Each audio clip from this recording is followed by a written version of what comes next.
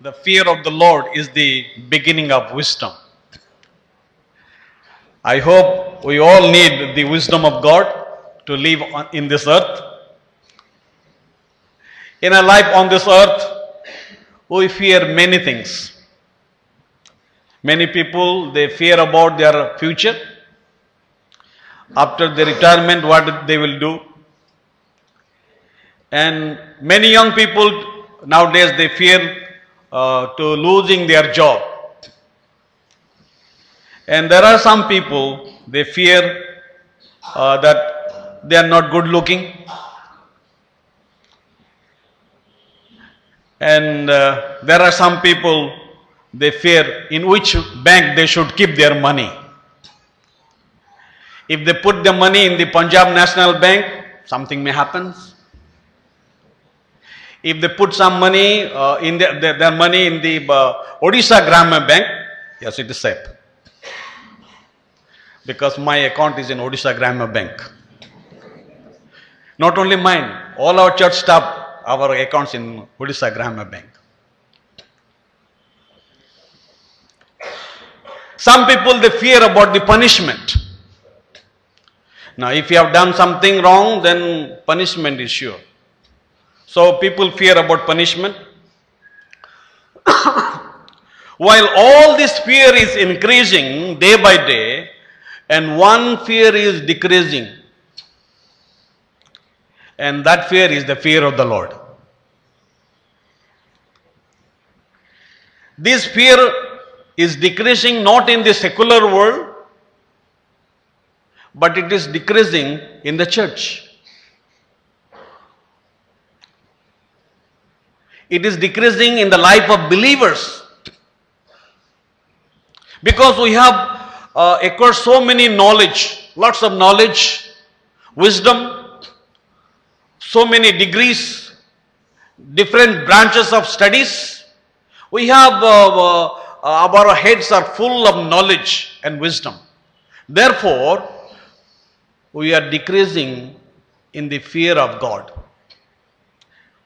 Now, Bible says in Luke chapter 12, verse uh, 4, I tell you, my friends, do not fear those who kill the body, and after that have nothing more that they can do.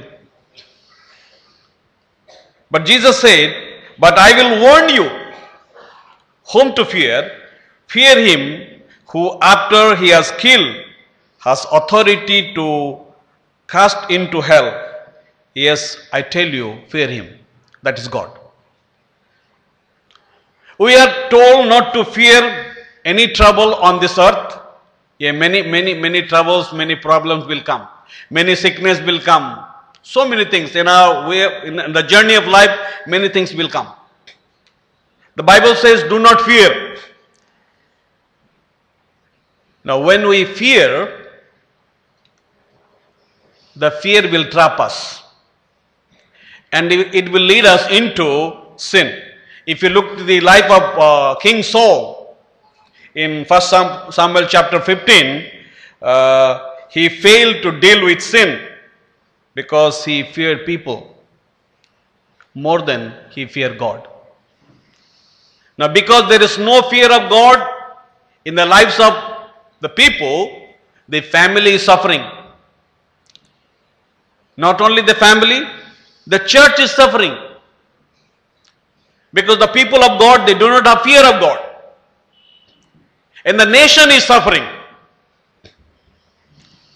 In the Bible, there are 158 direct uh, references encouraging the people to fear God.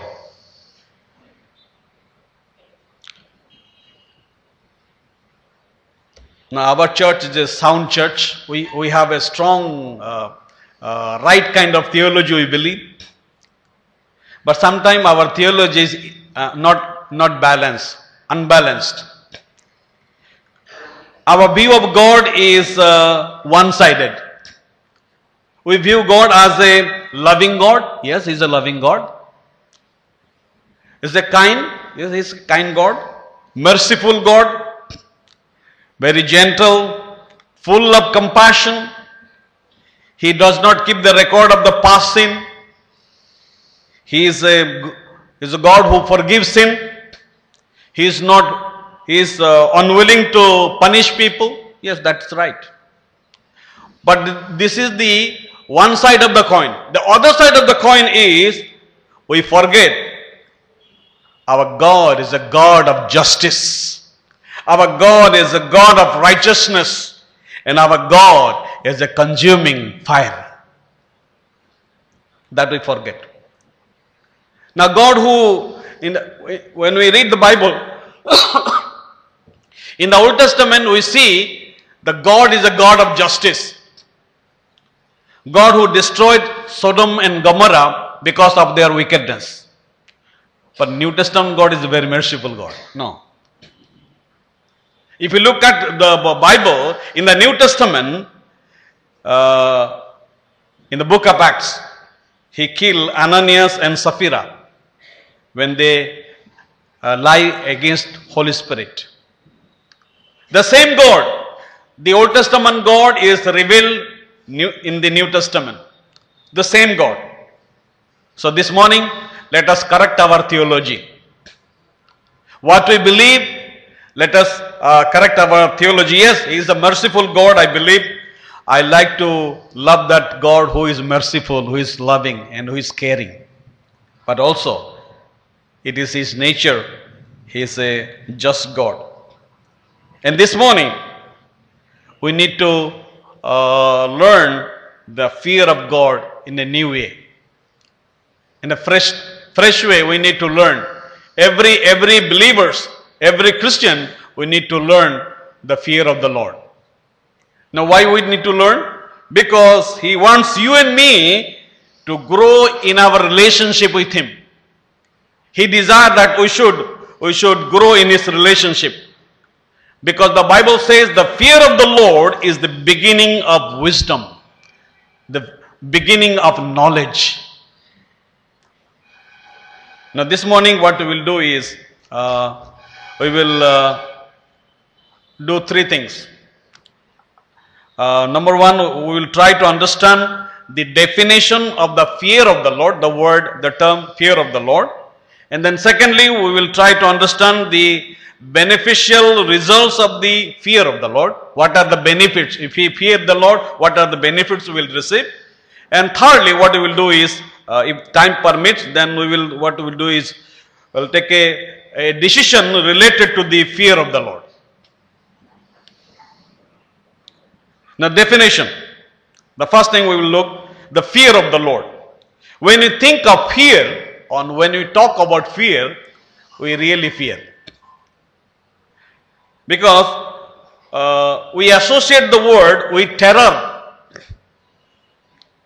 Now, Webster Dictionary defines fear as a feeling of anxiety and a agitation produced by the uh, presence or nearness of danger, evil, pain.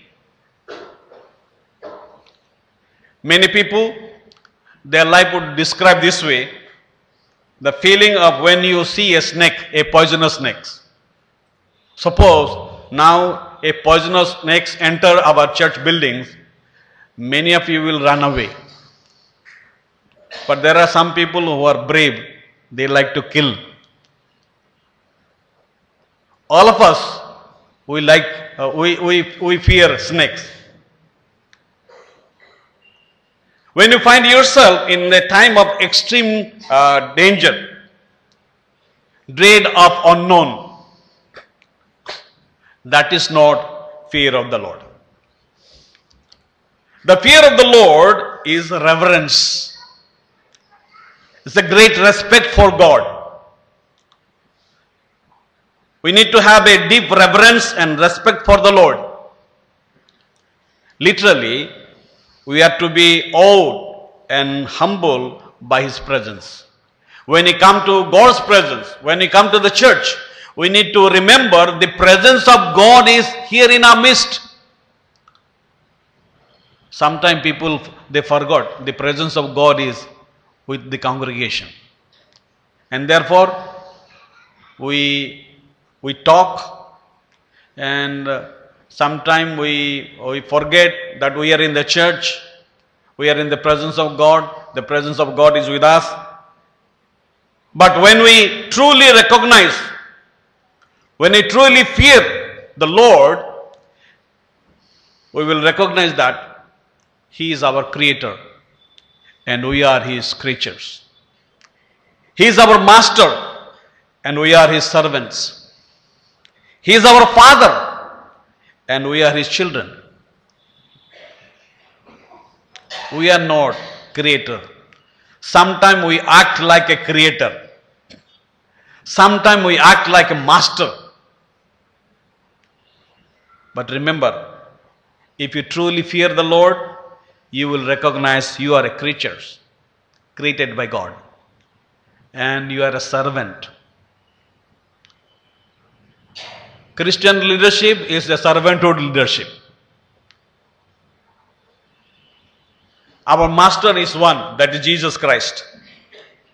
Now, this attitude will manifest in our having a respect for God,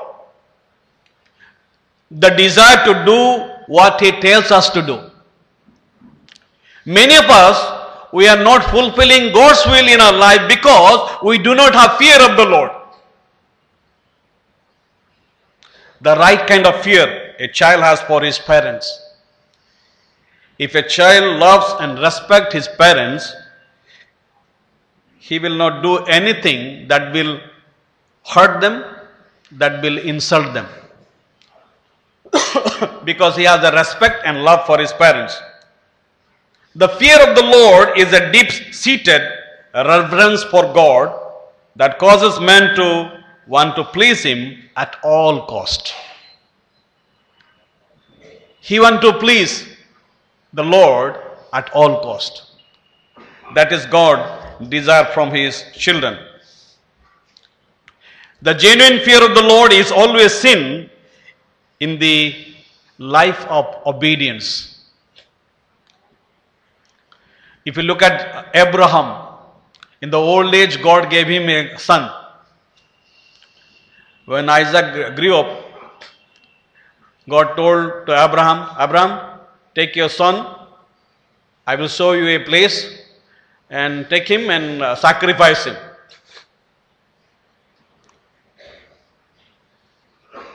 Sometimes the Lord's command is very hard to understand. If if I would have been in the place of Abraham, I would have said to God, Lord, you have given me Abraham in the old age. He is so nice boy. How can I sacrifice him? Now, if you ask me hundred sheep, I will take and sacrifice.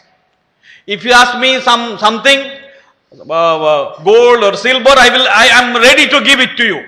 But please don't ask Isaac. But Abraham he had a fear of the Lord. Maybe he, have, uh, he had consulted with his wife Sarah, and she was also a godly woman willingly. He said, Okay, you take Isaac and sacrifice, because that is what, if God desire, sacrifice.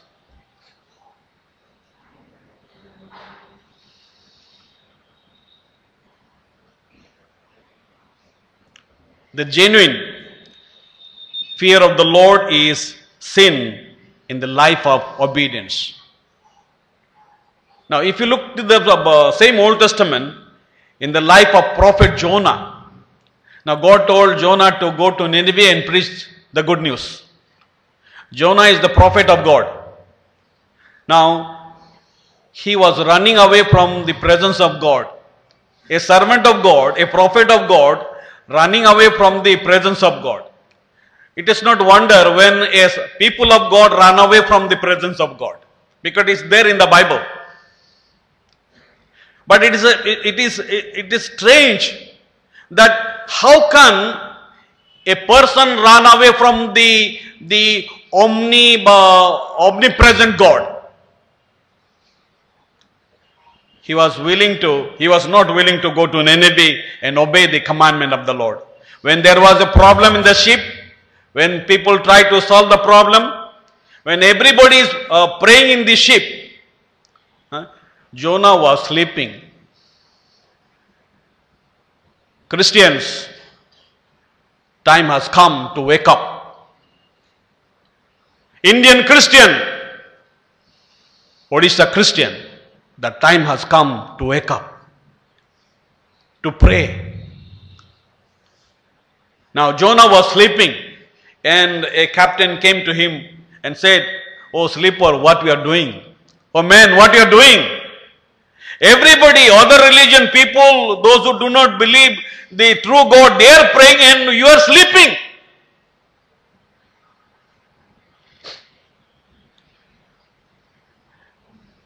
And they, as you know the story, they planned to cast the Lord, and the Lord came in the name of Jonah. And they ask so many questions. Now Jonah has to show his Aadhaar card or identity card. What tribe he belongs, what profession he belongs, what is his name. Then Jonah said, I, I am a Hebrew, my identity is I am Hebrew, and I fear the Lord. Jonah, do you truly fear the Lord? Do you have truly fear of God in your life? Then why you are running away from the presence of God?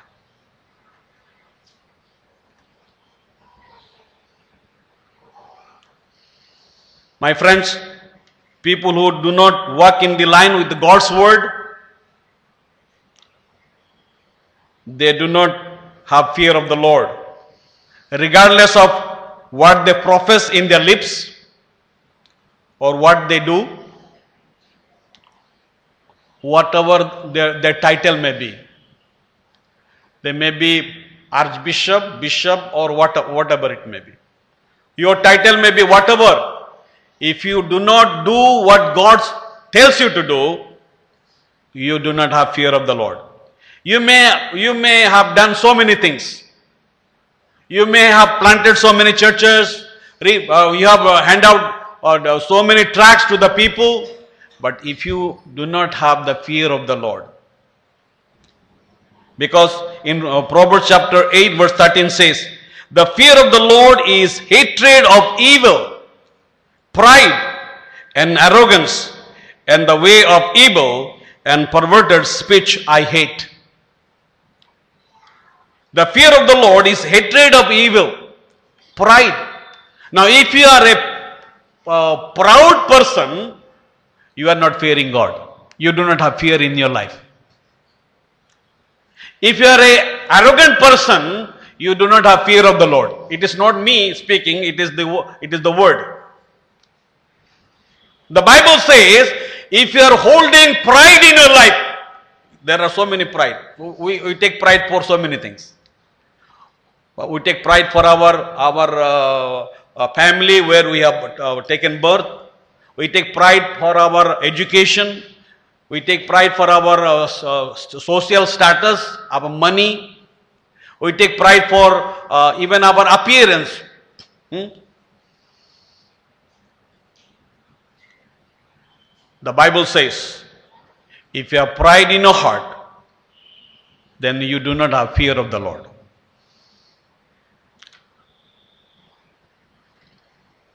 The remarkable thing about fearing God is that when you fear God, you fear nothing else. Whereas, if you do not fear God, you fear everything else. Now, secondly, the beneficial results of the fear of the Lord. If you fear God, what will, what benefits you will receive? According to the book of Proverbs, now this this this book is uh, recommended for the uh, young peoples. Old people also can read, but it is very much uh, recommended for the young people because we get so many instruction for our life. We get certain benefits in our life. When we fear the Lord, we find certain things that is true, that is true to be true in our life. Number one, First thing is uh, chapter 1, verse 7. The beginning of wisdom. The fear of the Lord is the beginning of knowledge, but full despise wisdom and instruction.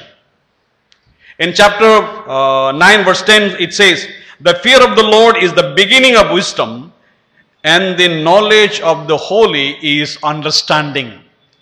The knowledge of holy is understanding. My friend, do you want to have understanding in your family? Then you must have a fear of God. Do you want to have an understanding with your wife and with your husband? Then you must have fear of God in your life. Now there are misunderstanding and not good understanding because there is no fear of God in the family or in the lives of believers. Chapter 15 verse 33, the fear of the Lord is the instruction of wisdom and before honor is humility. The best place to begin to search for the true wisdom is the fear of the Lord. True fear of the Lord is born out of a knowledge of, of how infinite and powerful God is. He is majestic, full of goodness. Before we can grow in the Lord, we must first learn to fear Him, respect Him, and honor Him. The second blessing we receive is it motivates people to holiness. If you have fear, fear of God in your heart, it will, uh, uh, it will prompt you to lead a holy life. Uh, chapter 3 verse 7 says, Be not wise in thine own eyes, fear the Lord and depart from evil. In Proverbs chapter 16 verse 6 says, By mercy and truth iniquity is purged, and by, by the fear of the Lord, men depart from evil. By the fear of the Lord, men depart from evil. If you have fear of God in your heart, if you truly fear the Lord, no sin can overtake you. No sin, sin can overrule you. Because you have the fear of the Lord. Now, we see in the life of Joseph as a remarkable person. I salute him. There are two persons, I admire them. Number one is uh, Joseph, number two is Daniel in the Bible. In Genesis chapter 39 verse uh, 9 he says, How can I do this great wickedness and sin against God? Because he feared the Lord. This verse tells us that the fear of the Lord promote holy living. My friend, in this sinful world, wicked world, you like to live a holy life, the life pleasing to the Lord, then you must have fear of God in your heart. The person who truly reverence and respect the Lord, he will not do anything that brings disgrace, dishonor, or pain to the heart of the Lord. The people who genuinely fear the Lord will free from evil. And thirdly, it promotes life. In chapter 10 verse 27 says, The fear of the Lord prolongeth days, but the year of the wicked shall be shortened. You want to live a uh, long life? One brother told me, Pastor, after retirement, I have uh, built this house. And uh, for so many years, I, I lived in a rented building or in the uh, government quarters. Now, after retirement, I have built this house. Uh, now, you please pray for me. At least, God may grant a few more years to live peacefully in this my, in my own house. I said, brother, let God answer your prayer. Amen.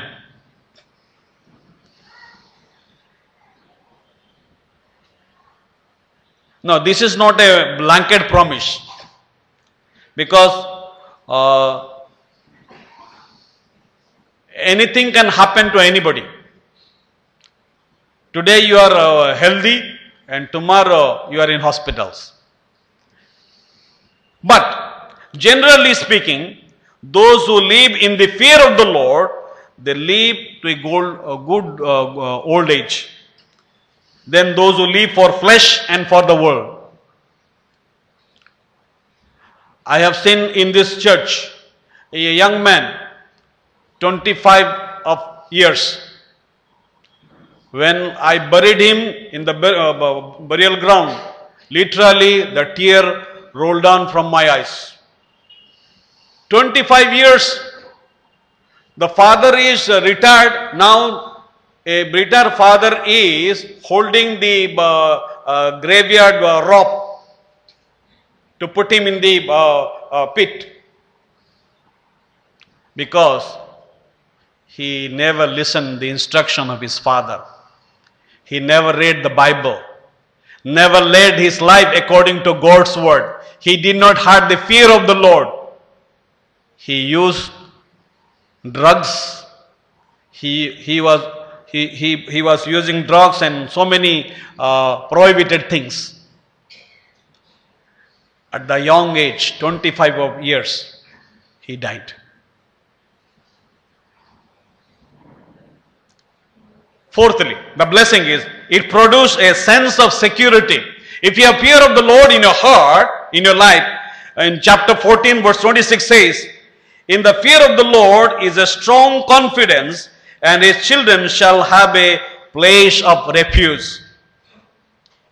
When we are walking in the fear of the lord we can have confidence that is god is on our side. In romans chapter 8 verse 31 paul says what shall we say then? If god is for us who can be against us if god is for us who can be against us fear of the lord produces strong sense of security and a close fellowship with the heavenly father in the fifth blessing, the fifth uh, benefits we receive, it produced life. Fear of the Lord produced life. In uh, chapter uh, 14, Proverbs chapter 14, verse 26 says, 27 says, the fear of the Lord is the fountain of life to depart from the snare of death.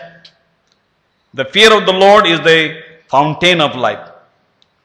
When we walk in the fear of the Lord, we are stronger spiritually.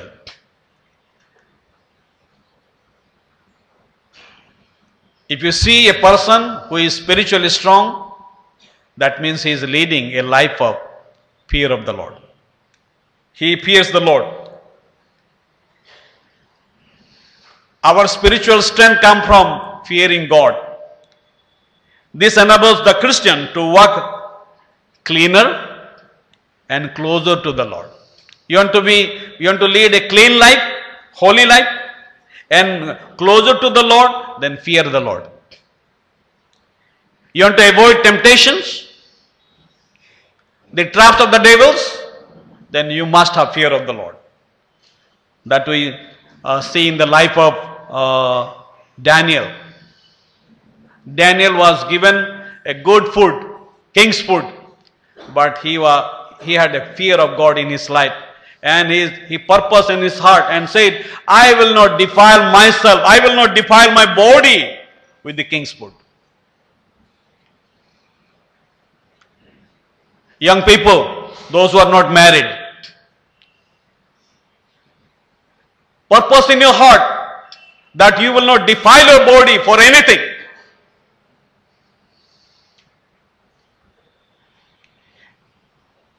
The sixth blessing. Chapter 15, verse 16 says, Better is little with the fear of the Lord than great treasure and trouble therewith. It makes all of life better. Now, to make our life better, to make our, our lifestyle better, now uh, many many homes they need two income. It is not sufficient with uh, one income, so there is nothing wrong in the Bible that uh, the, the wife cannot work. Husband and wife both can work.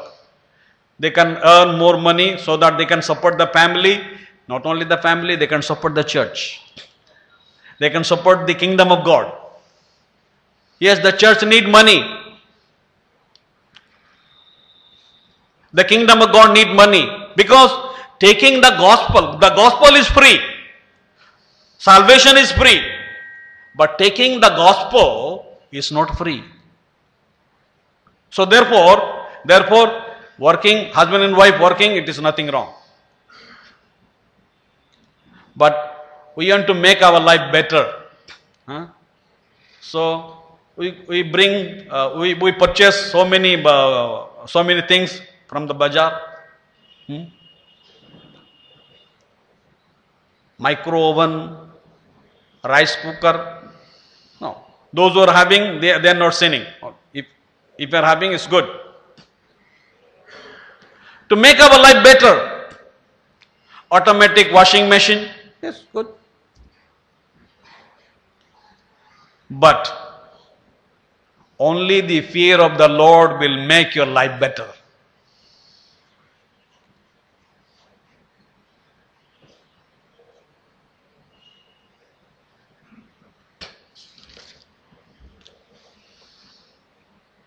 The bottom line here is this. When you are in the Lord's will, when you are walking in His fear, then your care is His responsibility. We worry about so many things, unnecessary things. We get panic and uh, so many anxiety we had. But if you are walking in, in the fear of the Lord, in His will, your care is His responsibility.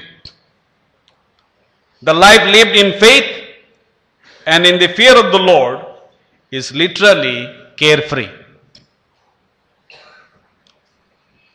Dear brothers and sisters, this morning, now that uh, decision related to the fear of the Lord. Walking in the fear of the Lord is going to have to be your. It is your, your individual decisions. No one can do it for you. The decision to live a life that is ordered around a holy, reverential respect for God is a decision that you must make for yourself. If you fear Him, you will honor Him. His will is will be your will. His priority will be your priority. His house is your priority. His kingdom should be your priority. His scripture, His word should be your priority. The Lord's way became the only way.